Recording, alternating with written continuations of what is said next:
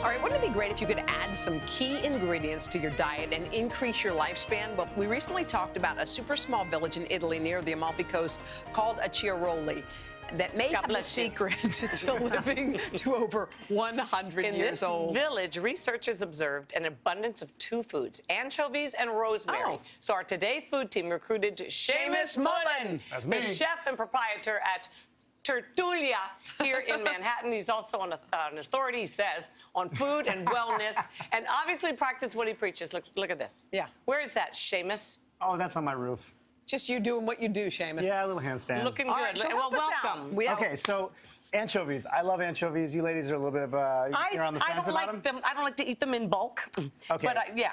Well, they're, they're, they're, I call them the little fish with a big voice. They make friends, they make enemies, but they're really, Okay. really amazing. Okay. Good for you. And then rosemary's a little more approachable, right? Yeah. I don't like it on chicken. Everybody Oh, loves see, I rosemary love chicken. rosemary. Yeah, most Okay, people do. well, we're going to hide both Hide- of these hide things. both hide them, them. Okay, yeah. so Kathie Lee, if you can get that stuff in here, we're going to Yeah. make a pesto. I've got some anchovies in there already. So rosemary. Yeah. The great thing about rosemary, it's a natural antiviral. So one of Yeah. the keys to living a long life is not getting sick for a long Okay. period of don't get sick to begin with. Exactly. Right. Uh-huh. what else is in there? Mint? There's some mint. There's uh, there's some Clove of garlic, garlic. Also good for your immune system. And are these sesame seeds? What are no, those are some chili flakes. So we're just Oh, gonna give it a chili little heat. Okay, Perfect. Okay. Olive oil. Can you throw that in there Yeah, for me? sure. I'll get this locked Cooking. up, and then I have some cheese. We're gonna do this with fish, so you could omit the cheese if you Okay. wanted. But But go ahead and throw it in. Dump it in?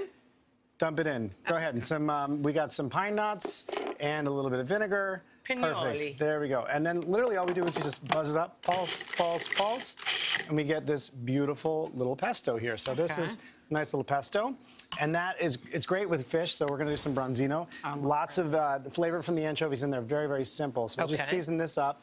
Some sea salt right on top of the fish, and then I'm gonna add our rosemary in again right on top of the fish, and this will get grilled in with the branzino. So getting some good fish. A little bit of um, Lemon zest because it's good. Drizzle of olive oil, and then it goes right on the grill, and we just grill it quickly on both sides. Okay. And this is what we're looking for, something kind of just like that.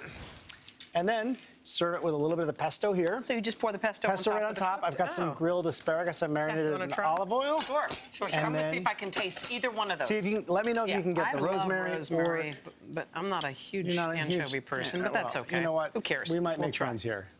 Let's see. Survey says. Mm. That's Oh my really God. tasty. I don't taste either one. Mm. So that's the thing about anchovies. They're mm. amazing. They, mm-hmm. they're really subtle. You don't oh, really oh get the flavor. bite. Just a little bit. Delicious. You know, We- the first restaurant I ever worked in was called Everything But Anchovies. Oh, that's and, and, and I've become a huge anchovy fan. So And we asked him what, if, in the break, what, if you were on, sadly, death row, and you'd have your last meal, what would it be? And you said, anchovies with, you know, avocado. All gotta right. Say. And and by the way, you've dressed up some Yep. some eggs with uh, Deviled eggs with anchovies. What have you done here? That's some lamb kebabs, which go really, really well with anchovies. Lamb and anchovies And you have a natural. rosemary skewer? Rosemary going through that. And how about the tea? So this is a little bit of rosemary tea, where we've Oh. just taken some rosemary, a little bit of uh, hot water, and made want- a beautiful tea. You want to try it, Here, let Kathie? me yeah, sorry. Okay. Pass it over. Thank you so much. I know that this is not quite fermented enough for all of us, but we'll enjoy it anyway. Cheers. Yeah, Cheers. thank you, Cheers. enough That so was much. really good. Okay.